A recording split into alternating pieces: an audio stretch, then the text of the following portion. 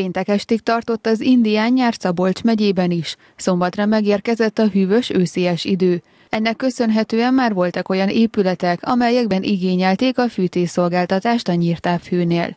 Jelen pillanatban a városban hat épületet fűtünk, ez körülbelül 500 lakást jelent, és három közintézményt. A többi 16 ezer lakás az még nem élt ezzel a lehetőséggel. Ugye szeptember 15-én kezdődött a fűtési időszak hivatalosan, de természetesen a szolgáltatás csak most a hűvösre fordult idő miatt veszik igénybe a fogyasztóink. Most már a napi középhőmérséklet ilyen 14-15 fok körül van.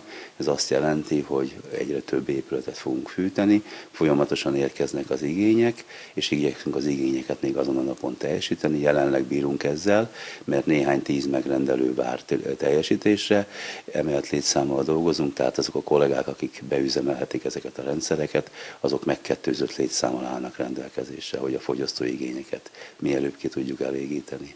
A gyakorlatban általában akkor indul a fűtési szezon, amikor a napi középhőmérséklet 12-13 Celsius fokra csökken. Az időjárás előrejelzések szerint lesz még napos, tavaszias idő a következő hónapokban. Ha valaki szeretné, azokra a napokra visszamondhatja a fűtésszolgáltatást.